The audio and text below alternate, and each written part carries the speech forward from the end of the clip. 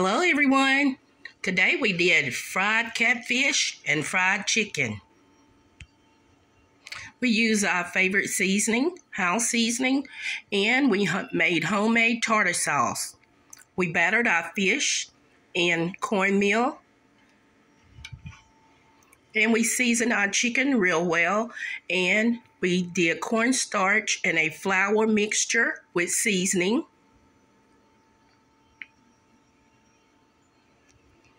I hope y'all enjoying these videos.